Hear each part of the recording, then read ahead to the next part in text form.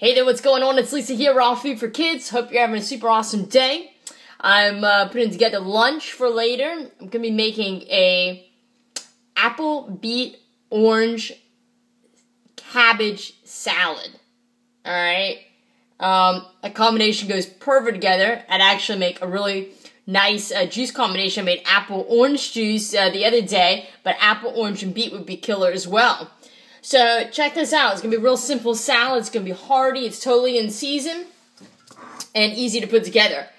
Uh, I'm gonna use the cabbage as my lettuce, and uh, I like cabbage because it's crisp, it's crunchy.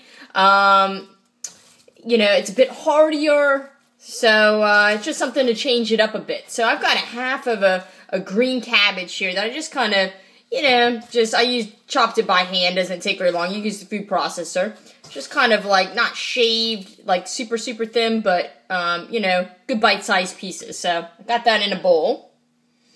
And then to that, I'm going to add um, some beets, apples, and oranges.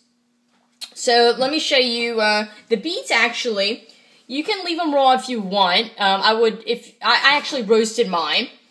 Um, with the winter months, Jen and I are gonna do like a little bit of cooked vegetables.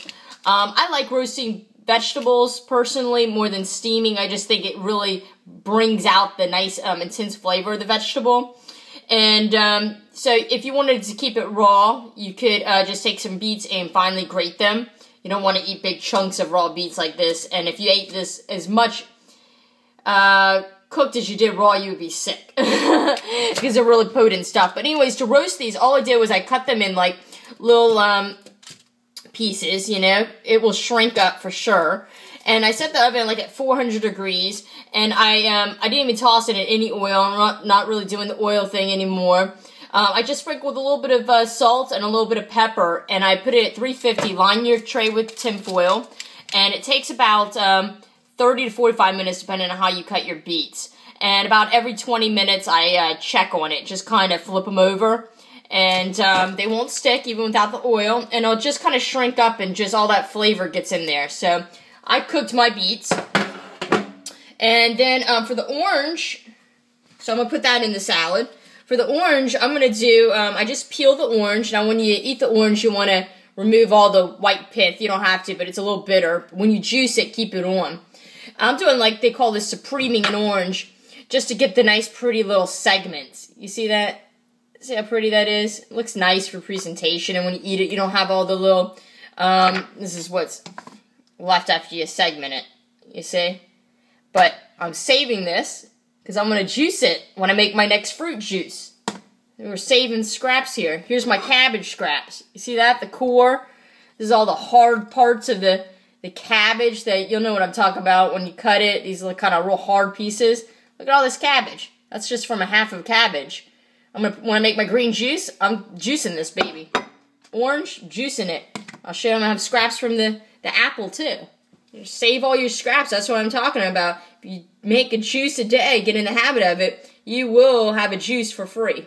You can juice for free and you get the, the most bang for your buck and, you know, you're eating a lot of times the healthiest, most nutritious part of it. So all I'm doing here is I'm working through, you'll see like little See the little slits in between for each little segment? All you do is you take your knife and you just go right um, between each little um, pith part or whatever this is, you see? Just go in between with the knife. And the dressing here is um, apple orange juice. The juice I made two days ago, um, or the other day, I can't even remember. so delicious. I juiced two apples and one orange. I used green apples because that's what I have. I used red. Um, so two apples to one orange makes about a cup of juice. It's the most delicious juice. That's my dressing. Come on, people. This is this is good eats here. Simple, fresh. You cannot go wrong. In season. Beautiful salad. It's gonna be so tasty. Oh, stuck in there. Alright. Quick and easy. So I'm get my little orange in there. And I could just squeeze the juice in here, but since I have apple orange juice already, I'm just going to save this with my apple scraps. And when I make an apple orange juice tomorrow, I'm going to throw it in there. So the apple I just cut in half, lay it flat, cut that in half, and then to get the core out, I just go like this. Because I don't particularly want to eat this core, but uh, I'll juice it. So, there we go. Just want to mention all these things because I just think we all need to be reminded. And I think people make a lot of excuses for not wanting to do something. It's too, too much work, it's too expensive, it's too whatever it is. It's not, people. It's not. You can you can get expensive with things, or you can keep things really affordable. Have what's in season, and um, and if you're eating healthy, making the salad, just uh, like I said, you can really make a juice just from the scraps. So I've got an apple here. Actually, I think um, I'll cut it in half just so it Probably could use two. These are small little apples. It's whatever you want. There's no right or wrong way. Probably even put pears in here would be good. Or green and red. So I'm just putting that in there. I'm going to put my orange segments in there.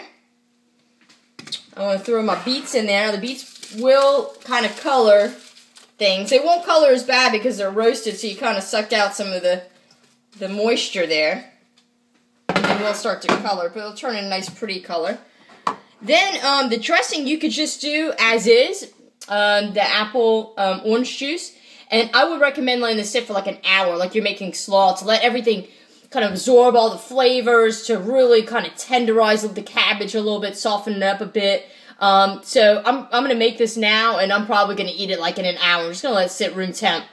Um, I was thinking I was to add, you don't have to, but um, I kind of like a little sweeter. This is sweet, but um, I thought I put in a little bit of apple cider vinegar. Again, you don't have to. You could just do this right here. But I'm just to put in like, Know, a tablespoon of apple cider vinegar.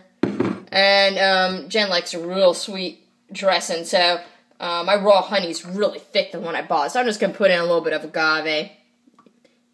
You totally don't have to, but just, uh, just taste. That's it. Let's have a little taste actually.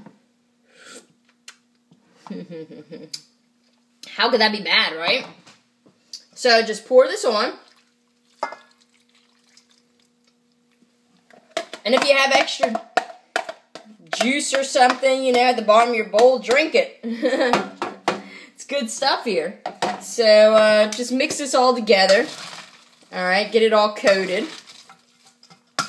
And again, you can put as much apples, oranges, pears would probably be good in here. You can put raw beets or do the cooked.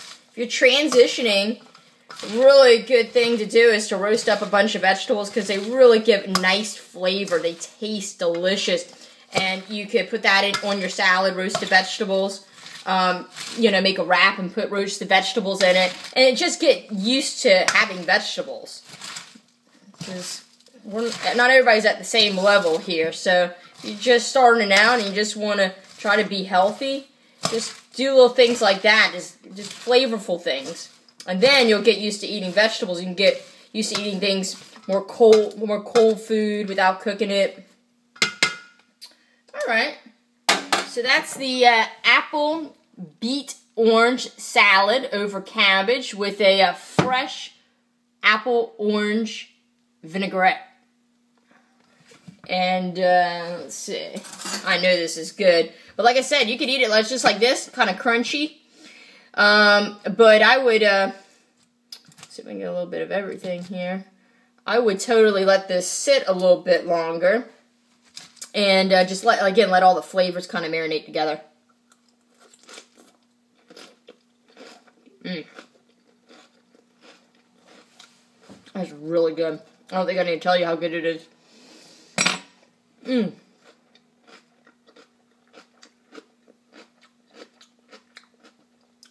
That's really nice. That's a really good salad. Perfect for fall and winter. Filling, hydrating. This will make you feel really good, guys. Happy foods. Mm.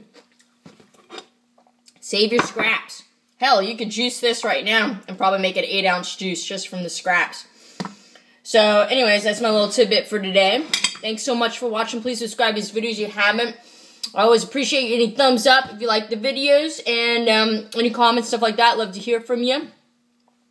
There's also a link down below. Uh, find the Facebook page. Go like that page. Post some pictures and just random stuff.